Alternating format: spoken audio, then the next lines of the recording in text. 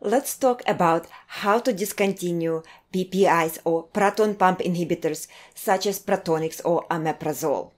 Couple important things you have to keep in mind. Number one, you cannot stop cold turkey. The reason for that is simple. The drug blocking production of hydrochloric acid at the last step. What happened? The step is blocked. Acid precursors are building before that. The moment you remove the drug, all these precursors get converted into hydrochloric acid. As a result, patients come and complain about severe, severe GERD reflex.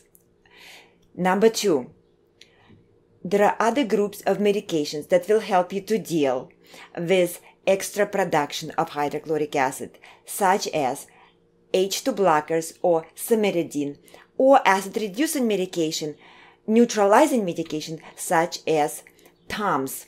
So, how you're going to do that? You're going to do that slowly and substitute PPI with other medications. Suppose you take the medication twice per day, once at AM and the other at PM.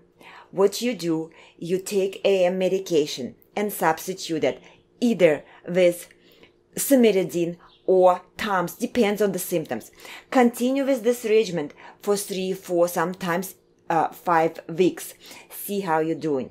Then discontinue PM medications or substitute that with H2 blocker or, excuse me, with, um, with cimetidine or TUMS.